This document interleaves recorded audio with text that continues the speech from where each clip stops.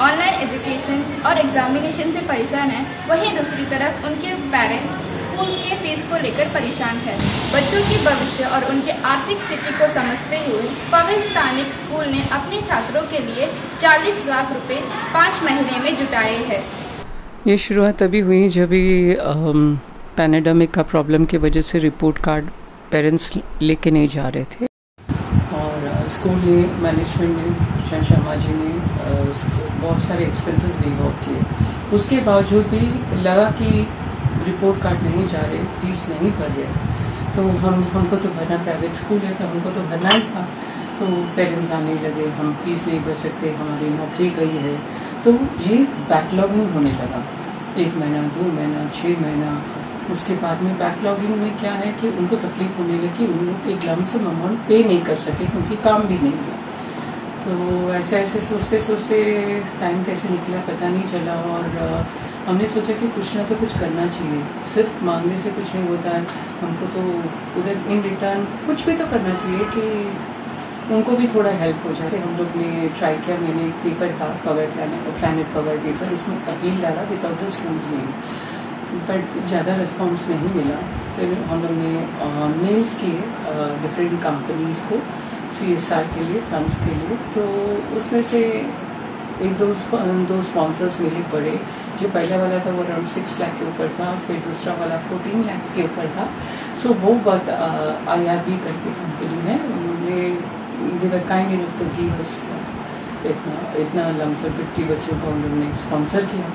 तो वो काफ़ी अच्छा लगा कि एटलीस्ट हम और भी कोशिश कर सकते हैं। अभी मेरा नेक्स्ट टारगेट ये है कि जो सिंगल मदर्स हैं, जो स्कूल में, उनको बहुत तकलीफ़ हो रही है। अभी भी आ रहे पेरेंट्स आ रहे सुनने के बाद उनको हेल्प करूँ, ऐसे मुझे, मेरी इच्छा है।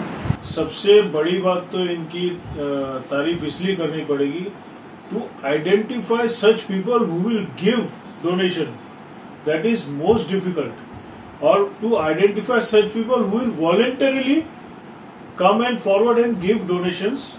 So she identified, she met them, she convinced them, she uh, gave all the picture what is the position of the students, their parents, then only they started giving funds, donations. हे संपूर्ण वर्ष आपल्या सगळ्यांसाठी खूप आव्हानात्मक होतं पुष्कळ लोकांच्या नोकऱ्या गेल्या त्या त्यामुळे आमच्या शाळेसमोर एक मोठा प्रश्न निर्माण झाला तो म्हणजे विद्यार्थ्यांचं ऑनलाईन शिक्षण कसं सुरू ठेवा? कारण पालकांकडे पैसे भरण्याचे फीज भरण्यासाठी पैसे नव्हते.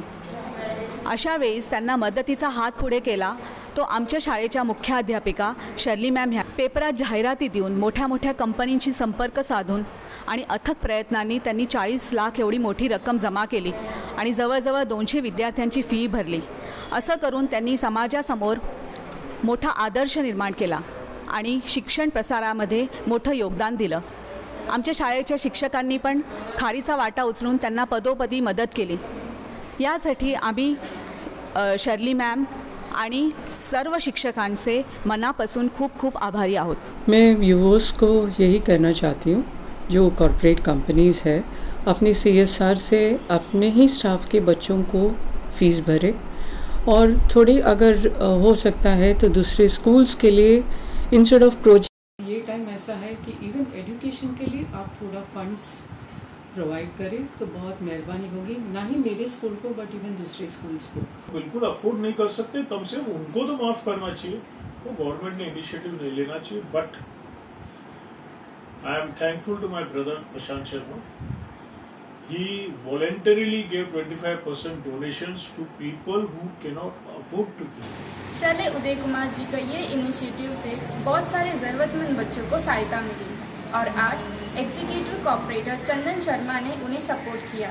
हम आशा करते हैं कि और भी सारे कई एन और लोग इन, इस इनिशिएटिव का हिस्सा बने। मैं इंदिरा तेवर वीडियो जर्नलिस्ट मीर सांगले के साथ प्राइम टाइम नेटवर्क पवई